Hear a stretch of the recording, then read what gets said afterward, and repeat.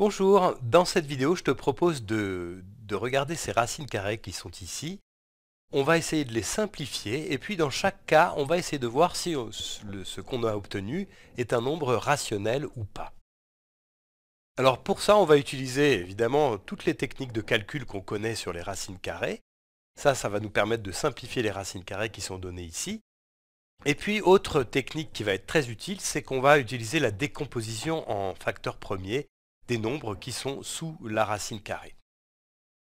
Alors, on va commencer avec racine carrée de 25. Je vais le faire ici. Racine carrée de 25, eh bien, c'est racine carrée de 5 fois 5. 25, c'est 5 fois 5. J'ai écrit, j'ai dit 5 et j'ai écrit 2. Alors, ça, racine carrée de 5 au carré, eh bien ça, c'est 5. Alors, est-ce que 5 est un rationnel ou un irrationnel? Alors, je te rappelle qu'un rationnel, c'est tout simplement un nombre qui peut s'écrire comme une fraction, hein, comme un rapport entre deux nombres entiers. Et ça, c'est tout à fait possible. Hein, ici, c'est 5, c'est 5 divisé par 1, donc c'est un nombre rationnel. Voilà. Alors maintenant, on va regarder racine carrée de 24. Alors 24, je vais le décomposer en facteurs premiers. Donc je peux déjà dire que c'est 2 fois 12. Et puis 12, c'est 2 fois 6. Et 6, c'est 3 fois 2. Donc finalement, racine carrée de 24, je peux l'écrire comme ça. C'est racine carrée de 2 fois 2 fois 3 fois 2. Et ça, bon, je vais l'écrire en dessous. Hein. Je vais utiliser une, le fait que la racine carrée d'un produit de deux nombres, eh bien c'est le produit des racines carrées. Donc ça, je peux l'écrire en fait comme ça, c'est racine carrée de 2 fois 2 multiplié par racine carrée de 3 fois 2. Alors, racine carrée de 2 fois 2, ça, ça fait 2. Et puis racine carrée de 3 fois 2, là, j'ai aucun, aucune manière de simplifier cette racine carrée, de supprimer la racine carrée. Et donc, je vais écrire que c'est racine carrée de 6. Hein. Donc ça, c'est 2 fois racine carrée de 6, que je peux écrire tout simplement comme ça. C'est 2 racine carrée de 6. Alors, ce nombre-là est-il un nombre rationnel ou pas? Alors, on a le 2 qui est un nombre rationnel. 2, hein. c'est 2 sur 1. Par contre, racine carrée de 6, ça n'est pas un nombre rationnel. Et en fait, la règle, c'est que la racine carrée d'un nombre, c'est toujours un nombre irrationnel, sauf quand le nombre en question est un carré parfait. Hein. Alors je te rappelle que ce qu'on appelle un carré parfait, en fait c'est un nombre entier qui est le carré d'un autre nombre entier. Par exemple, 25 est un carré parfait puisque c'est le carré de 5. Ici 6 n'est pas le carré d'un nombre entier, donc racine carrée de 6 est irrationnel. Ça c'est racine carrée de 6 qui est irrationnel, et donc 2 fois racine carrée de 6 est irrationnel aussi. Voilà, la chose à retenir c'est que la racine carrée d'un carré, eh bien c'est un nombre entier en fait, et donc c'est un nombre rationnel. Par contre, la racine carrée d'un nombre qui n'est pas un carré parfait, eh bien c'est forcément un nombre irrationnel. Alors on va continuer avec racine carrée de 20. Racine carrée de 20, alors 20 je vais le faire ici, 20 c'est... Bon, je peux déjà tout de suite dire que c'est 4 fois 5 en fait. 4 hein. fois 5, donc racine carrée de 20, c'est racine carrée de 4 fois 5. Et je peux dire que c'est racine carrée de 4 fois racine carrée de 5. Racine carrée de 4, c'est 2. Donc finalement, ce que j'obtiens, c'est 2 fois racine carrée de 5, c'est-à-dire 2 racines carrées de 5. Alors, est-ce que c'est un rationnel ou pas? Eh bien non, ça n'est pas un rationnel, puisque comme je viens de te le dire tout à l'heure, racine carrée de 5, c'est un nombre irrationnel aussi. Hein. Ça, c'est un nombre irrationnel, puisque 5 n'est pas le carré d'un nombre entier. Donc 2 fois racine carrée de 5 n'est pas un nombre rationnel non plus. Ensuite, alors, on va passer à racine carrée de 200. Et 200, eh bien, je vais le décomposer aussi en, en facteur premier. Et je peux dire que c'est 2 fois 100. Alors, Ensuite, évidemment, 100, on pourrait le décomposer encore en facteur premier, mais tu vois que ici, ce qui est intéressant, c'est que 100, en fait, c'est 10 fois 10. 10 fois 10. Donc c'est un carré. Hein. Alors tout à l'heure, je t'avais dit qu'on devait utiliser la décomposition en facteur premier du nombre qui était sous la racine. En fait, ce n'est pas vraiment utile d'aller jusqu'à la décomposition en facteur premier. L'essentiel, c'est de voir si dans cette décomposition, on a un carré. Donc ici, c'est le cas, hein, puisque 100, c'est le carré de 10. Alors je vais garder ça parce que ça va être très intéressant. En fait, du coup, racine carrée de 200, c'est racine carrée de 2 fois 100. Et donc c'est racine carrée de 2 fois racine carrée de 100. Mais racine carrée de 100, en fait, c'est racine carrée de 10 fois 10. Et ça, racine carrée de 10 au carré, eh bien c'est 10. Donc finalement, racine carrée de 200, eh bien c'est racine carrée de 2 fois 10, ça c'est 10. Donc racine carrée de 2 fois 10, eh bien je vais l'écrire comme ça, c'est 10 racine carrée de 2. Alors là, j'ai un nombre entier, hein, qui est donc un nombre rationnel. Par contre, racine carrée de 2, ça n'est pas un nombre rationnel, puisque 2 n'est pas un carré parfait. Donc ici, j'obtiens un nombre irrationnel. Alors, maintenant, on va passer à racine carrée de 2000. Racine carrée de 2000. Et pour ça, eh bien, je vais décomposer 2000 en facteur premier, enfin pas forcément, tu vois que...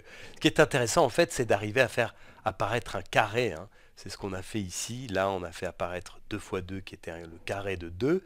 Ici, 4, c'est le carré de 2. Et ici, on avait fait apparaître le carré de 10.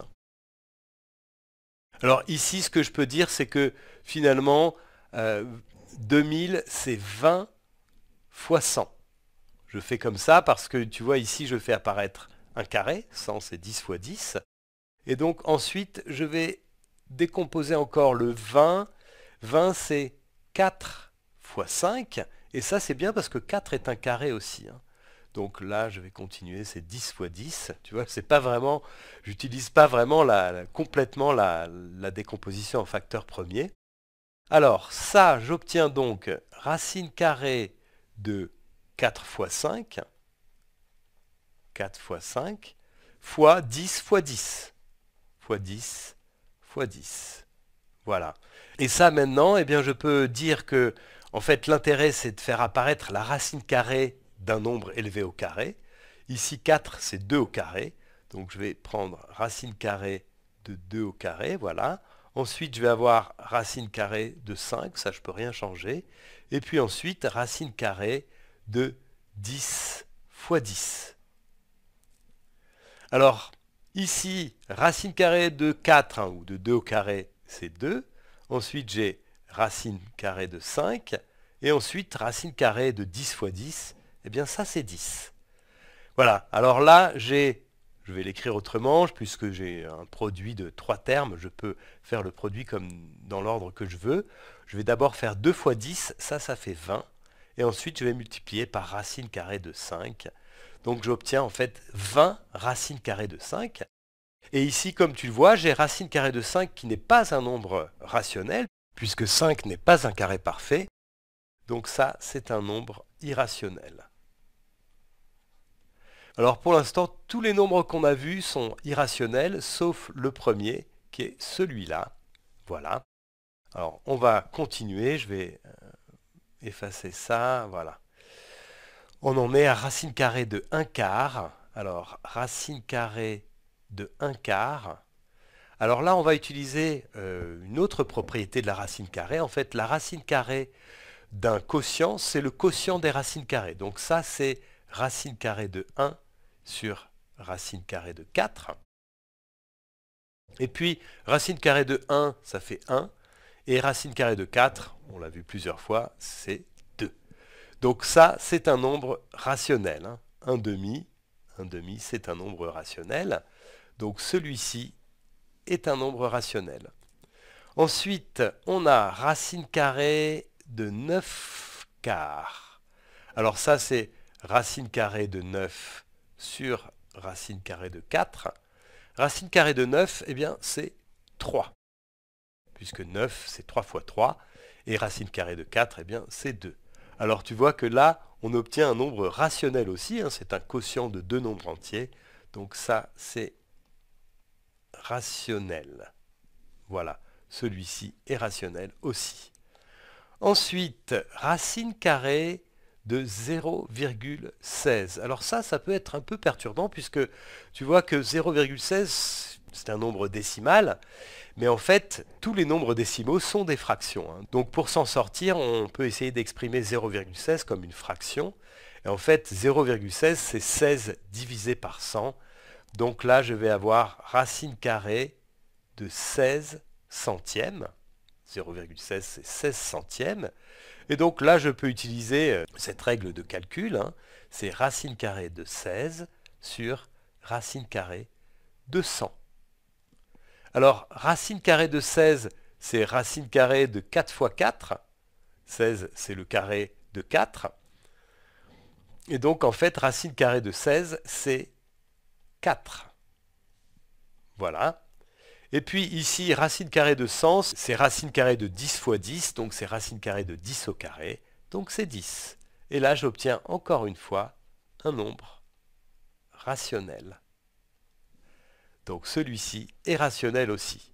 Tu vois, ce n'est pas un résultat tout à fait intuitif hein, quand tu regardes la racine carrée d'un nombre décimal. Tu as peut-être du mal à imaginer a priori que finalement c'est un nombre qu'on peut exprimer comme un quotient. Tu vois que c'est le cas. Alors, on va regarder le suivant, celui-ci, racine carrée de 0,1. Racine carrée de 0,1. Donc là, c'est le même système. Hein. Essayez d'exprimer euh, ce 0,1 comme un quotient. 0,1, c'est 1 dixième. Donc finalement, ce que j'ai, c'est racine carrée de 1 dixième, donc de 1 sur 10. Donc ça, c'est racine carrée de 1, je vais un peu vite maintenant, divisé par racine carrée de 10. Racine carrée de 1, c'est 1. Par contre, racine carrée de 10, je ne peux rien dire, c'est juste racine carrée de 10. Et 10 n'est pas le carré d'un nombre entier, donc racine carrée de 10 est un nombre irrationnel. Donc ça, c'est un nombre irrationnel aussi. Voilà. Alors, il nous reste le dernier. Donc là, j'ai fait un peu une bêtise puisque j'ai entouré celui-ci alors qu'il est irrationnel. Hein. Donc ça, je l'enlève, voilà. Et maintenant, on va s'occuper du dernier, racine carrée de 0,01. Alors on va faire exactement de la même manière. 0,01, on va l'exprimer comme une fraction. En fait, c'est 1 centième. Donc ici, j'ai racine carrée de 1 centième. Et donc, c'est racine carrée de 1 sur racine carrée de 100. Et racine carrée de 1, on a dit que c'était 1. Et puis racine carrée de 100, on l'a dit tout à l'heure, c'est 10. Et tu vois, là, on a encore quelque chose qui n'est pas tout à fait évident à voir tout de suite. C'est que racine carrée de 0,01, c'est 1 dixième. Et donc, c'est un nombre rationnel. Voilà, celui-ci est aussi un nombre rationnel. Bon, j'espère que cette vidéo t'aura aidé à comprendre comment est-ce qu'on peut simplifier des racines carrées, c'est déjà une chose et puis aussi à reconnaître si tu as affaire à un nombre rationnel ou pas. Alors dans cette vidéo, j'ai juste utilisé le fait que toutes les racines carrées sont des nombres irrationnels sauf quand il s'agit de la racine carrée d'un carré parfait.